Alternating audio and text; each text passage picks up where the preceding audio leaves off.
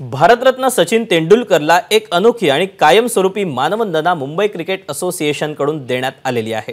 सचिनचा एक पूर्णाकृती पुतळा वानखेडे स्टेडियमच्या सचिन तेंडुलकर स्टँडमध्ये बसवण्यात आला. याचं अनावरण बुधवारी संध्याकाळी मुख्यमंत्री एकनाथ शिंदे यांच्या हस्ते करण्यात आलं. या सोहळ्याला शरद पवार बीसीसीआयचे अध्यक्ष जय शहा कोषाध्यक्ष आशिष शेलार एम सी एचे अध्यक्ष अमोल काळेंसह अन्य मान्यवर उपस्थित होते. या पुतळ्याची उंची वीस फुटे तर वजन दीड टन इतकं आहे.